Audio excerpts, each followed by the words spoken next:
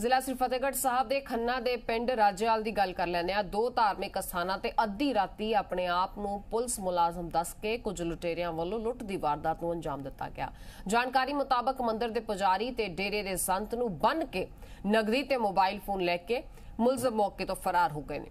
ਘਟਨਾ ਨੂੰ ਲੈ ਕੇ ਪਿੰਡ ਵਾਸੀਆਂ ਅੰਦਰ ਡਰ ਹੈ। ਦੂਜੇ ਪਾਸੇ ਪੁਲਿਸ ਅਧਿਕਾਰੀ ਮੁਲਜ਼ਮ ਨੂੰ ਜਲਦ ਕਾਬੂ ਕਰਨ ਦੀ ਗੱਲ ਕਹਿ ਰਹੇ ਨੇ।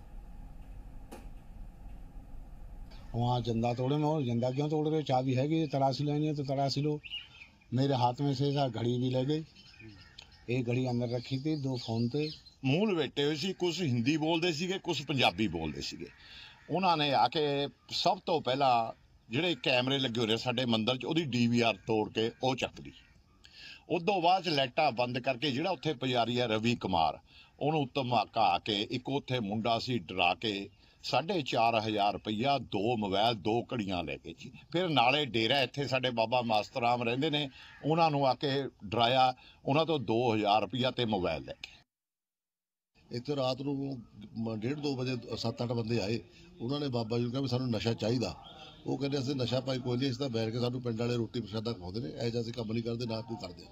ਉਹਨਾਂ ਨੇ, ਉਹਨਾਂ ਦੇ ਅੰਦਰ ਜਾ ਕੇ ਕਰੀਬ 2000 ਰੁਪਏ ਸਮਾਨ ਦੇ ਵਿੱਚ ਉਹਨਾਂ ਨੇ ਜਿਹੜਾ ਟਰੱਕ ਪੇਟੀ ਪਈ ਸੀ, ਉਹਦੇ ਵਿੱਚੋਂ 2000 ਰੁਪਏ ਲੈ ਗਏ। ਤੇ ਮੰਦਰ 'ਚ ਵੀ ਇੱਥੇ ਆਏ ਨੇ। ਮੰਦਰ 'ਚ ਉਹਨਾਂ ਐਂਟਰੀ ਕੀਤੀ, ਉਹ ਵੀ ਇਹੀ ਗੱਲ ਕਰਦੇ ਸੀਗੇ।